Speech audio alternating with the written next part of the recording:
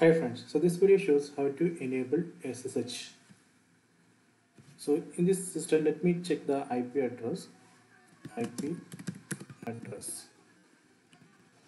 So here you can see the IP address 192.168.57.3.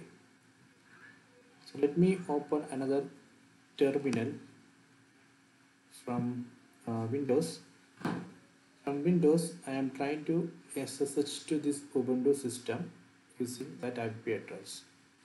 SSH user, that is a username. You can see showing error connect to host IP address port 22 connection refused.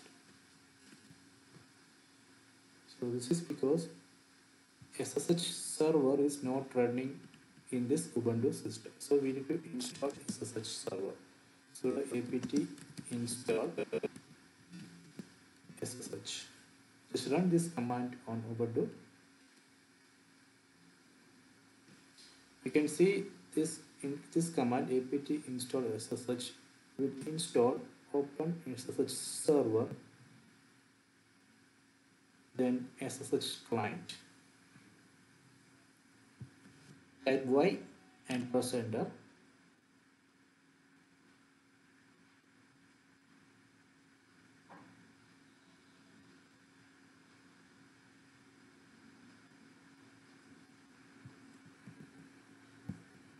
okay instruction completed.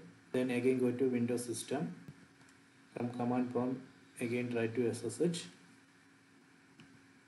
see now it's working type yes then enter the password.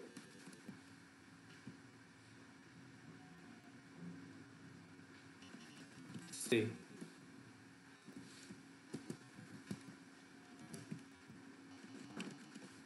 So this way we can enable ssh on ubuntu and we can install OpenSSH server for that